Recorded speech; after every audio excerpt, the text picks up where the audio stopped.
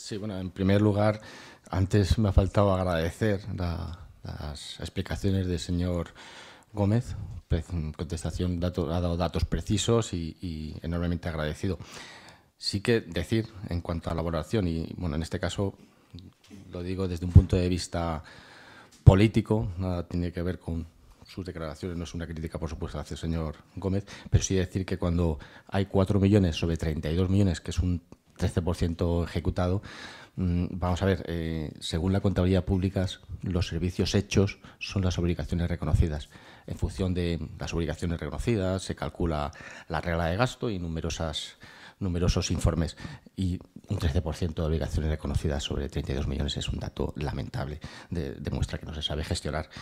Bueno, volviendo a la pregunta que, bueno, en, cierto modo está, está relacionada con la anterior porque trata también sobre obligaciones reconocidas. Lo primero que querríamos conocer son los datos de obligaciones reconocidas de las inversiones en promoción económica y desarrollo empresarial a 31 de diciembre.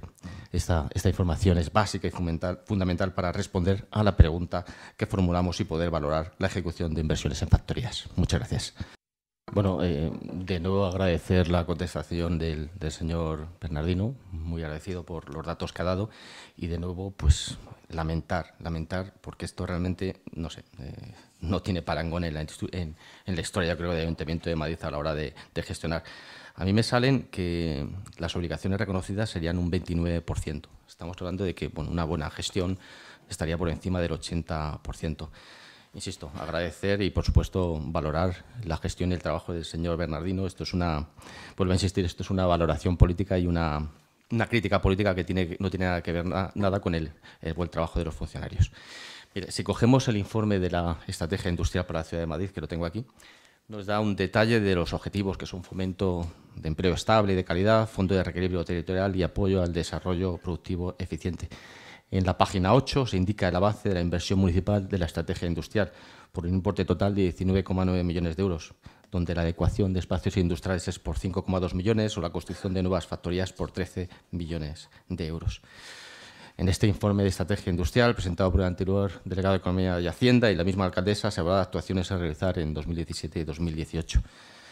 Estamos muy preocupados. Ya, ya habíamos visto los datos de, promoción económica de las ubicaciones reconocidas a 30 de noviembre, pero con los datos de 31 de diciembre nos confirma realmente, bueno, estamos hablando de un 1,9 millones de euros, cuando había un crédito definitivo de 6,5 millones de euros. Insistimos, las ubicaciones reconocidas son los servicios hechos y por debajo del 80 del 90% es un, eh, bueno, es un fracaso.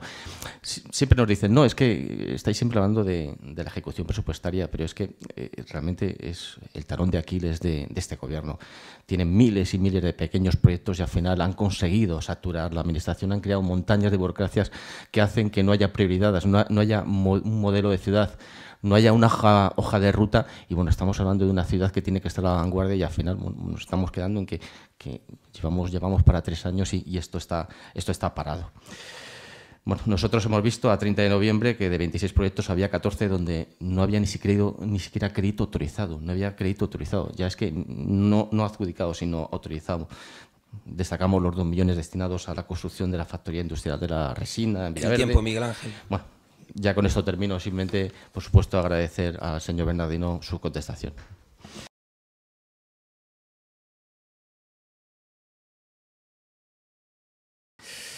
Leo textualmente, Juzgado de lo Contencioso Administrativo número 17 de Madrid. Indebido cese de la interventora general del Ayuntamiento de Madrid. La motivación del cese, por pérdida de confianza, es insuficiente y no se entiende que pese a destacarse la alta capacidad de la interventora, su cese se intente justificar en que no va a poder asumir nuevas funciones, que ni siquiera se especifican. Bien, eh, decir que hace, hace menos de una semana, el pasado martes, día 14 de febrero, se aprobó en el Congreso de los Diputados, con el voto a favor de Ciudadanos, Partido Popular y gracias a la abstención de Podemos, gracias a Podemos, el partido del delegado de Economía y Hacienda y también de varios integrantes de Ahora Madrid, la proposición no de ley que insta al Gobierno a reforzar la independencia e imparcialidad de los funcionarios de la Administración local, secretarios interventores y secretarios interventores. Dice esta PNL, debe justificarse méritos profesionales y las causas tasadas de cese, de cese de funcionarios que deberán incluir en todo caso la correspondiente motivación del mismo referido a su desempeño profesional.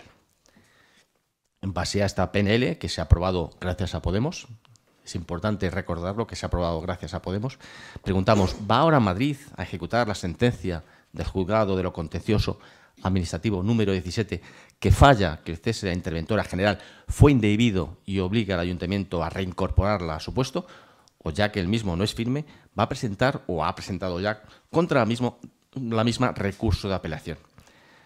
En caso de recurrir la sentencia, entendemos que sería incoherente con lo aprobado en el Congreso y con el voto de Podemos en el Congreso.